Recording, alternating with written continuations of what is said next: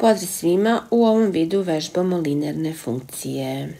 Prvi zadatak. Predstavi u eksplicitnom obliku linearnu funkciju čiji je koeficijent pravca 3 i slobodni član minus 5.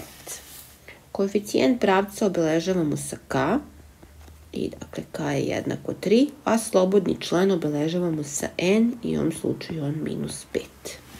Dakle, mi treba da predstavimo ovu funkciju u eksplicitnom obliku koji glasi y je jednako koeficijent pravca puta x pa plus slobodni član n. Dakle, ovo je opšti oblik za linearnu funkciju. Dakle, eksplicitni oblik. Dakle, y prepisujemo, k nam je 3 puta x prepisujemo i s obzirom da nam je n minus 5, dakle nećemo pisati plus po zagradi minus 5, plus i minus daju minus, pa ćemo pisati samo minus 5. I dakle, ona će izgledati ovako. y je jednako 3 puta x minus 5 i ovo je eksplicitni oblik. Postoji i implicitni oblik, gde sve stavljamo sa jedne strane i kažemo da je jednako nuli. Dakle, a puta y plus b puta x plus neko c je jednako nuli. Dakle, stavimo ovako, y, 3x prebacimo na drugu stranu, bit će minus 3x, minus 5 kad prebacimo na drugu stranu, bit će plus 5, a na ovoj strani bi nam ostala 0. I ovo bi bio implicitni oblik. U ovom zadatku se samo traži eksplicitni oblik, tako da y je jednako 3 puta x minus 5 bi bio konačno rešenje. Idemo na drugi zadatak. Date linearne funkcije predstavi u eksplicitnom obliku. Dakle, one su nam date u implicitnom, mi treba da prebacimo u eksplicitno. Dakle, šta radimo? Y ostavljamo na jednoj strani, a sve ostalo prebacujemo na drugu stranu. Pa prebacit ću x, kad prebacim menjam znak, pa kažem minus x, prebacujem dvojku, takođe menjamo znak, kažemo minus 2. I evo, to bi izgledalo ovako.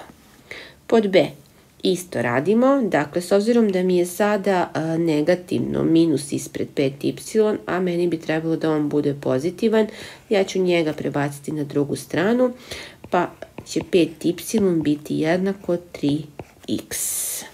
E sad, s obzirom da imamo ovo 5 puta y i toga treba da se otarasimo, pa, dakle, y će biti jednako 3 puta x, pa kroz 5. I ostavljamo ga ovako, dakle, ovako bi to izgledalo. I pod C imamo 5x minus 7y plus 8 je jednako 0. Dakle, opet ću 7y da prebacim, pa će 7y biti jednako, ovde mi je ostalo 5x plus 8. I sad y će biti jednako 5x plus 8, pa sve to kroz 7. Dakle, ceo ovaj zbir mora da se podeli sa 7. Odade će y biti jednako, a ovo bi trebalo da odvojimo, da vidimo posebno šta je k, šta je n. Pa će to biti 5 puta x kroz 7 plus 8 kroz 7.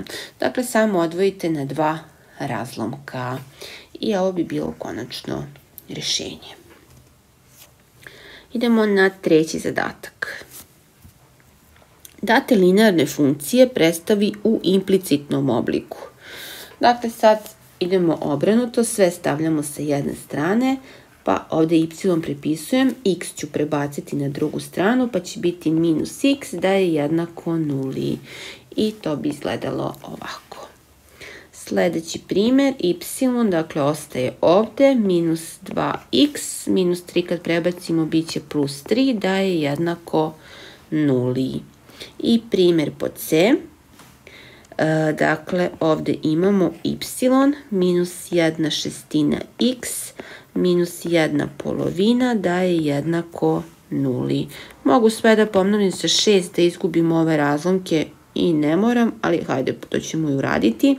Pa ćemo imati 6y minus 1x i minus, ovde kad pomnožim 6 i 2 mogu da skratim, pa će to biti 3, da je jednako nuli. I to bi izgledalo ovako. Idemo na četvrti zadatak. Data je linearna funkcija f od x je jednako minus 4x plus 5. Pod a, odredi vrednost nezavisne promenjive ako je f od x jednako minus 1. Dakle, nama je sad dato ono y, koje drugačije zapisujemo kao f od x. Pa ćemo pisati da je minus 1 jednako, dakle minus 4x plus 5. Možemo da prebacimo dakle ovu peticu sa druge strane, pa će biti minus 1, minus 5 je jednako, ovde mi je ostalo minus 4x, minus 6 je jednako minus 4x i odavde sledi da je x jednako, dakle minus 6 kroz minus 4, minus i minus daće plus, pa imamo 6 četvrtina, ovo mogu sa 2 da skratim dodatno, pa će to biti 3 polovine, odnosno jedno celo i jedna polovina. Pod B sad nam treba da odredimo f od minus 3. Dakle, sad nam je dato u stvari ovo x. Pa će f od minus 3 biti jednako, dakle minus 4 puta, umesto x-a mi pišemo dakle minus 3 pa imamo plus 5 u produžetku. Dakle, samo zamenimo tamo gde je x, mi stavljamo u stvari minus 3. Pa će ovo dalje biti jednako, 4 puta 3 je 12, plus 5, što znači da će f od minus 3 biti 17. f od 2, dakle minus 4, pa sad umesto x stavljamo puta 2 i plus 5. Minus 4 puta 2 je minus 8, plus 5. 8 minus 5 je 3, pa će ovo biti minus 3. I evo, rešili smo i ovaj primer. Peti zadatak kaže, zadate linearne funkcije odredi k i n. Dakle, mi trenutno ne možemo ovde da odredimo k i n, dakle ne vidimo ga, ali imali smo u prethodnom primjeru jednom. Dakle, šta radimo da bi mogli da ih vidimo? Odvojimo ovo na dva razlomka. Pa ćemo imati dva, dve petine puta x možemo zapisati i ovdje imamo plus 7 kroz 5. Dakle, bukvalno odvojite ova dva sabirka na dva razlomka. I šta je ovde k? Dakle, to je ono što množi x, k će biti dve petine, a šta nam je n? Dakle, slobodni član, n će biti 7 petina. Primer pod b, dakle, isto tražimo. Dakle, ovdje imamo y je jednako, pa će y biti jednako, odvojimo na 2, dakle, opet e, razlomka. Dakle, ovdje imamo minus, pa će biti minus 3 kroz 8. 8 i 8 ovde mogu da skratim, dakle ostaće 1, pa je y jednako minus 1x ili možemo pisati minus x minus 3 osmine.